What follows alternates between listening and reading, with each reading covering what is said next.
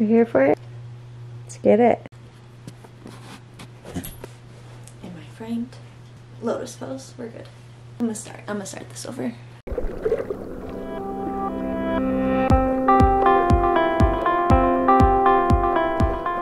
Aza is short for azalea, a flower that represents femininity, strength, and beauty.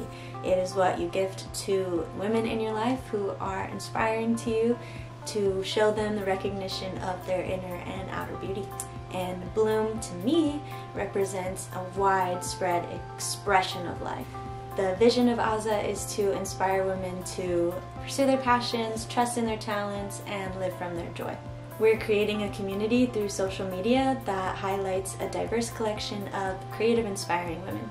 Women leaders and entrepreneurs and activists for environmental and social justice causes, but also writers and painters and creatives. The idea is to find such women and do a photo shoot, little editorial piece, and then highlight them on the Aza pages. One amazing woman leads to another, leads to another, leads to another, like a network. Each story can be found with ways to connect with the women, follow up on their work, and nominate others.